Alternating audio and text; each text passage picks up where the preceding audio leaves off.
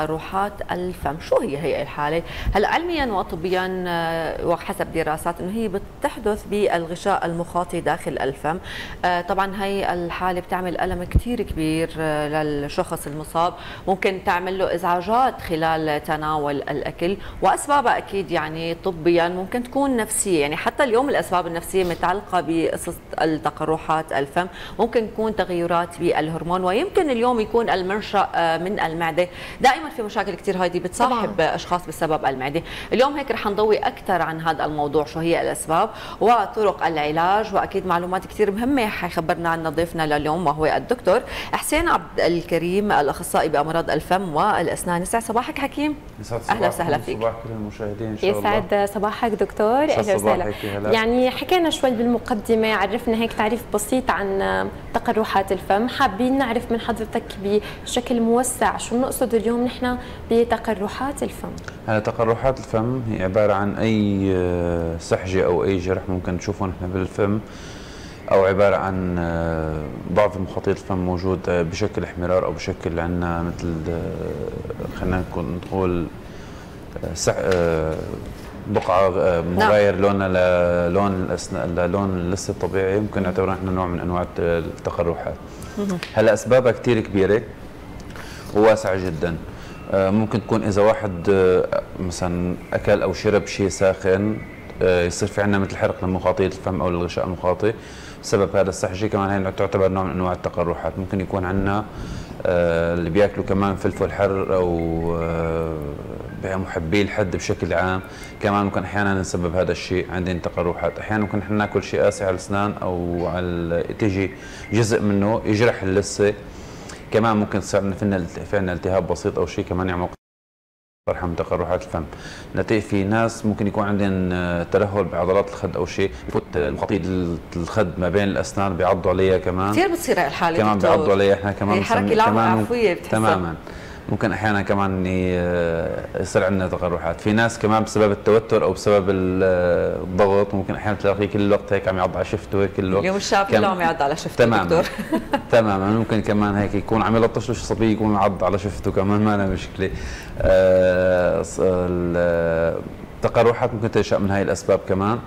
هلا في عندنا أسباب ممكن ممكن تكون جهازية. أحيانا ممكن تكون مترافقة مع أمراض جهازية عامة. آه، أحدها رقص الصناعه المكتسب أو الإيدز ممكن تكون هي دليل عليه. ممكن أحيانا تكون دليل هي على ظهور أو كبداية على إشعار تعطينا إشعار عن إصابة بمرض سرطاني معين. دكتور يعني أسباب كثيره طبعا كثير عندنا أسباب. ممكن تكون الأسباب الفيروسية كمان اللي تعتبر من تقرحات الفم هي القلاعات آه، نحن مسميه فيروس المسبب له هو فيروس انتهازي.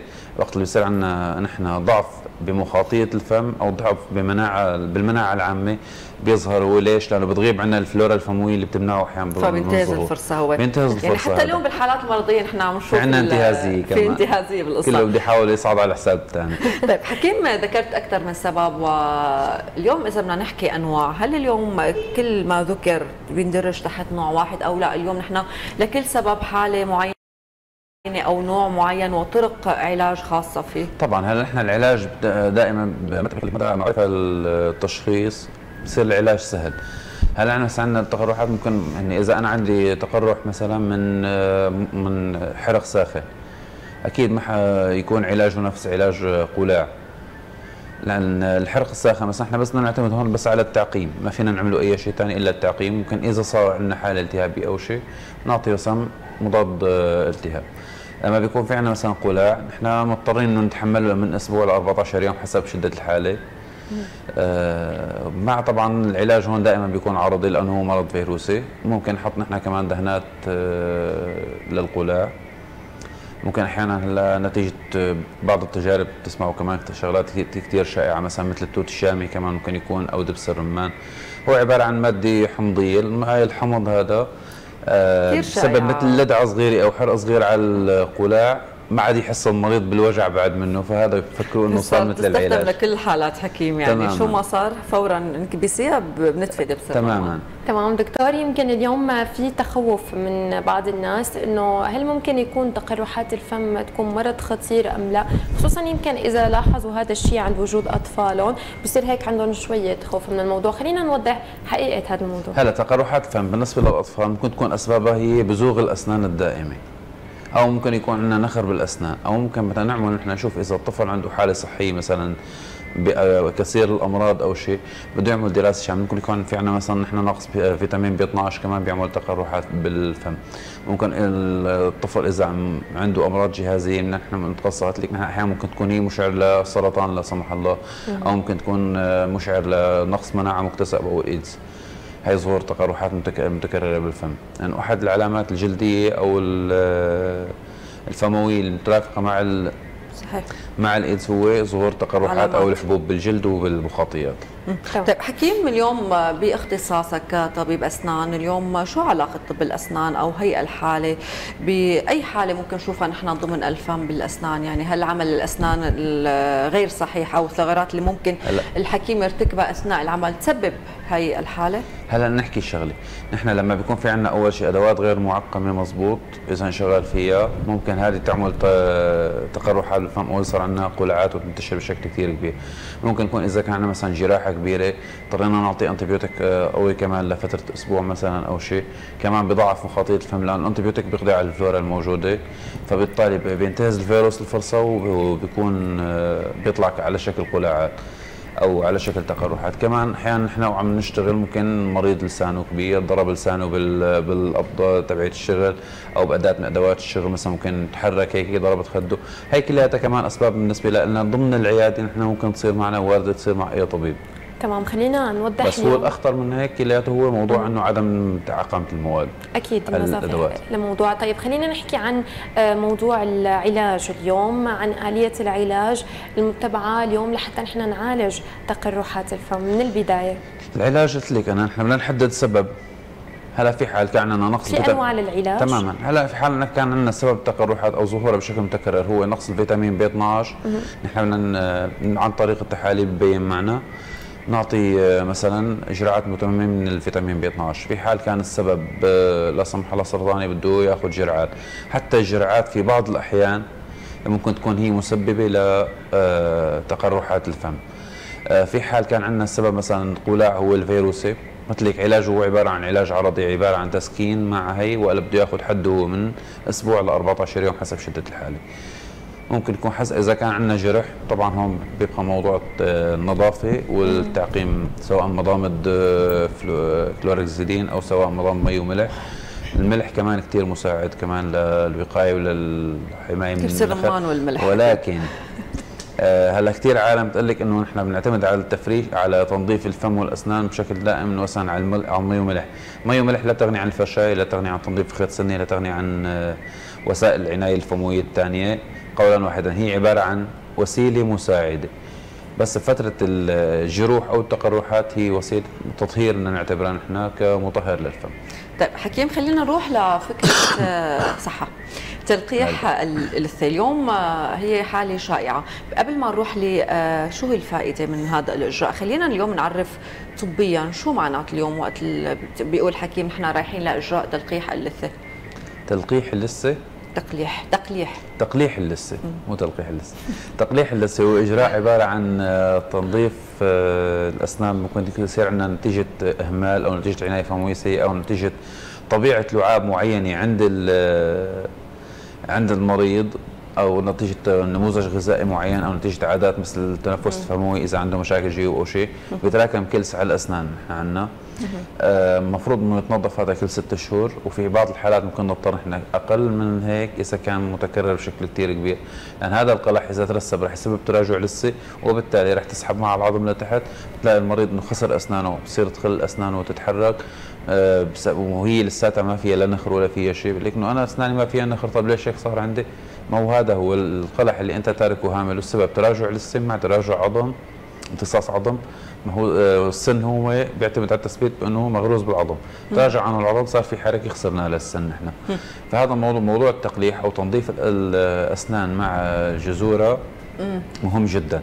طبعا دائما انتبه أي طبيب نروح لعنده نحن مشان تنظيف الأسنان إنه يعمل لنا التنظيف تحت اللثة أهم إنه يكون فوق عن طريق شو اليوم بيتم هلا في عندنا الطريقة التقليدية العادية اللي هي بالأدوات اليدوية وعندنا كمان أمواج فوق صوتية.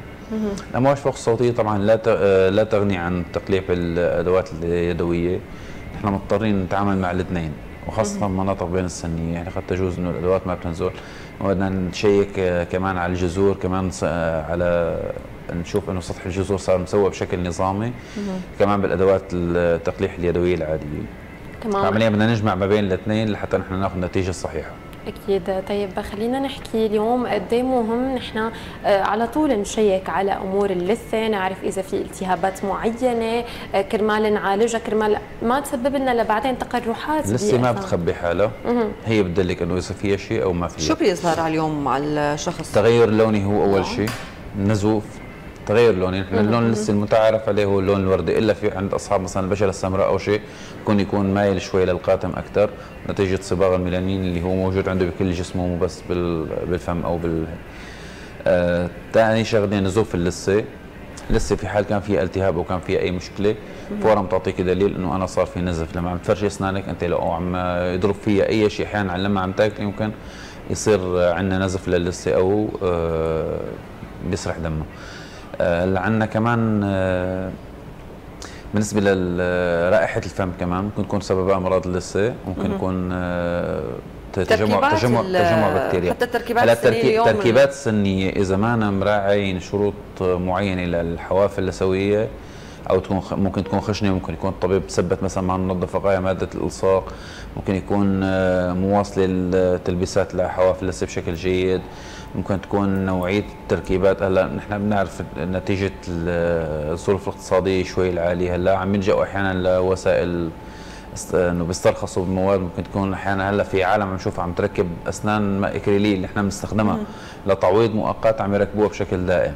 يعني عم نلاحظ حالات عفوني كثير وحالات التهابات لسوي كثير عم نلاحظها دكتور اليوم مع إنه اليوم اطباء الأسنان كلهم بيروحوا ل الحذر بهي النقطة تماما. ولكن ولكن في في ممارس يعني في ممارسين للأسف يعني إحنا عم نحاول. مع لجميع الأطباء أكيد, أكيد. يعني اليوم. خلينا نعطي هيك بالختام نصائح أخيرة من حضرتك لحتى نعتني بصحة الفم والأسنان. هلا نصائح بالنسبة لعناية الفم والأسنان. الفرشاة هي اولا. هي قولا واحدا. تفريش الأسنان. هو بالدرجه الأولى كنوع من الوقاية أو بس نفرشي صح لأنه أحيانا طبعا طريقة التفريش الصحيحه هي الأساس. بحد ذاته ممكن يسبب لنا ممكن يسبب تراجع للسي تماما. آه نوعية الفرشاي كمان بدنا نختار نحن نوعية الفرشاي المناسبه لاسناننا وللسه الموجودة عندنا كمان بحيث إنه ما نأذيها. آه الشغلة الثانية استخدام الخيوط السنية، الشغلة الثالثة المضامض كمان كثير منيحة وخاصة في في في فترة بيكون في عندنا تقرحات المضامض كثير منيحة. وكثير آه شيء أساسي. الشغلة آه، الثالثه كمان موضوع القلح كمان إذا كان موجود بدنا نتابعه. بدنا نشوف نحن موضوع آه، نخور الأسنان كمان إذا موجودة بشكل دائم لازم نتابع عليها. كل ست شهور نحن نعمل check يعني. already نحن هون بسوريا متعارف عليها. طبيب الأسنان ما عنده معاينة ففيك أنت تفوت تشيك على أسنانك يعني ما حت ما حتخسر شيء كل ست شهور. بالعكس إذا كان في عندك نخر تعالجه من بداياته. ككلفة مادية أقل على المريض وكسلامة للسن أو ديمومة أو عمر للسن تعطيه عمر أكثر الشغلة كمان المهمة نحن إنه إذا عندنا مشاكل جهازيه مثلا أمراض معدة أمراض مشاكل بالتنفس أو شيء لازم نحلها نحن لحتى نحافظ على موضوع سلامة الفم والأسنان إن كان من ناحية لسه أو إن كان من ناحية نخور الأسنان. شكرا دكتور حسين لحضورك اليوم ولكل المعلومات اللي ذكرتها ودائما نقول بالصحة والسلامة لجميع الناس. وحلو اليوم هيك الفحص الدوري لصحة الأسنان. بعد شوي عن الحالة الإسعافية اللي بنروح على طول فيها يعني على طبيب الأسنان. أكيد. شكرا لك. يا ميت وردي يسعد صباحكم يا رب وصباح كل المشاهدين شكرا لكم. نتمنى نكون قدمنا فائدة للجميع.